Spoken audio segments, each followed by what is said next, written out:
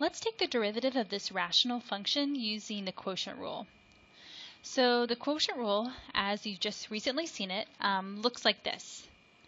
So the derivative of a quotient of two functions, we'll call them f of x divided by g of x, equals um, the bottom times the derivative of the top minus the top times the derivative of the bottom all over the bottom squared.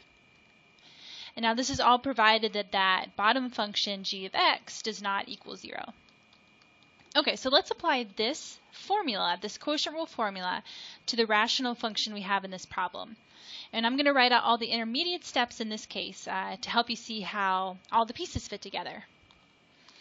Okay, so this derivative equals, okay, so if you look at the top of our formula here, the first piece is g of x, which is the bottom function. So in this case, that's 2x squared plus 7. And then the next piece is the derivative of the top, f prime of x. So for now, I'm just going to write that as the derivative d dx of the numerator, x squared plus 5x minus 3. Okay, so that's g of x times f prime of x. Now we have minus f of x times g prime of x.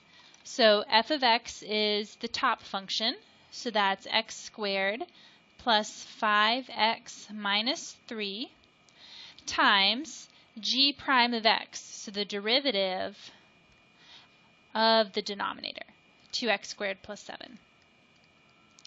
And all of that is over the denominator squared. So that's the entire quantity, 2x squared plus 7 squared. Okay, so now um, we have all our pieces.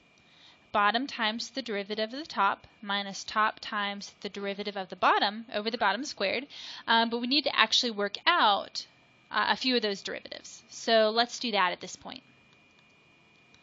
Okay, so on the top I've got 2x squared plus 7, and that's times the derivative of x squared plus 5x minus 3. Okay, so that derivative for x squared, I'm going to get 2x using the power rule. And then the derivative of 5x is just 5, so plus 5. And then, of course, the derivative of 3 is 0 because it's a constant. Okay, so I have this minus, okay, so I've got x squared plus 5x plus 3. That just stays the same. And now I have the derivative of 2x squared plus 7. Okay, so using the power rule, that's going to get me 4x plus 0.